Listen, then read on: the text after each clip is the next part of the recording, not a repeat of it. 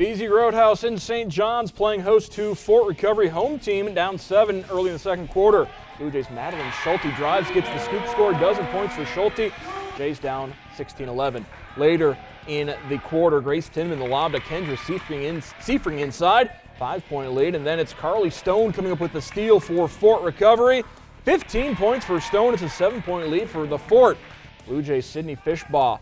The Lexi Hayes pump fakes, drives, and scores. Blue Jays down by five. Fort pulls away. Recovery gets the 51 36 lead. Seifring leading the way with 17 points and five rebounds in the victory.